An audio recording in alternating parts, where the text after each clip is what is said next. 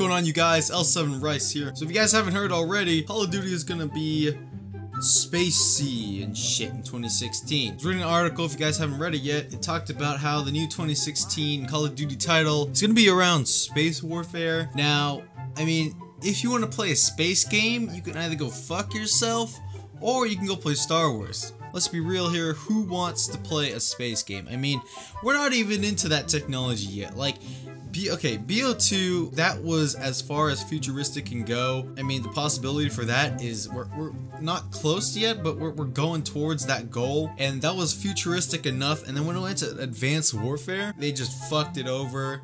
And uh, Ghost, I don't know about that game. Uh, you guys can like it. I didn't really like it, but you know, your opinion, right? Anyways, it went from Advanced Warfare to, was it Ghost first or Advanced Warfare? I don't even know. But Advanced Warfare, it had like futuristic shit. Okay, you had booster packs and I mean I don't even know if we have that yet I mean there's a lot of things the government doesn't tell us and then there came Black Ops 3 which was I mean it was fun but after a while it just felt really stale and it was way too futuristic for me. So a game like MW2, that time setting was like just perfect because it wasn't too advanced. It was the same modern technology that we have today in the military. And it was going to talked about how uh, trick shotting is going to advance, uh, how it's going to progress throughout the years. If if we do get a Call of Duty game in space, I don't think it's gonna go very well. Just the idea of trick shotting in space, can you imagine? In a giant ass spacesuit, right? Just like Buzz Lightyear with his little pew pew blasters, flying around space, spinning in circles, right? You're gonna trick shot some nerds in space. How are you gonna do that? I mean, you could be up space. Okay, if you know the physics in space, you don't stop spinning, okay? Because your momentum is going in there and it doesn't stop because there's no air or whatever it's called, okay? I haven't taken physics yet, so I don't know shit, but I, I know a little. Can you imagine trick shotting in space? The idea of it sounds cool, but when you actually play it, it just sounds so, or it just looks so bad. It doesn't sound bad. I don't even know what it sounds like.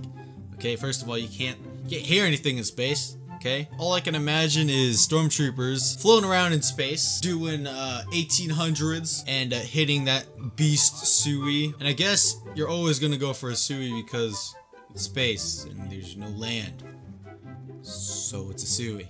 So to sum this all up, basically, if Call of Duty 2016 is a space game, I'm gonna go stick my dick in the toaster. Because why not? I mean, that's what all the kids do it, right? All the cool kids stick their dicks in toasters. I want to be a cool kid. Not to be real though, I'm most likely gonna quit the COD game just cause I don't want to trick shot in space. I can already do that in Star Wars or um, Space Engineers. You know that game? The one on Steam where you can go fly around and build a giant dick? Yeah, that game. But I mean, if it comes to that, I'm definitely gonna still upload. Maybe just not Call of Duty. I might stick with BO2 and MW2 and stuff like that because that's more realistic than space bullshit, okay? But if it does be a space game, Call of Duty 2016, we're all killing ourselves. Alright, I hope you guys enjoyed my cut com. Yeah, that's it for today. If you guys enjoyed, I'm out. Phase the fuck up.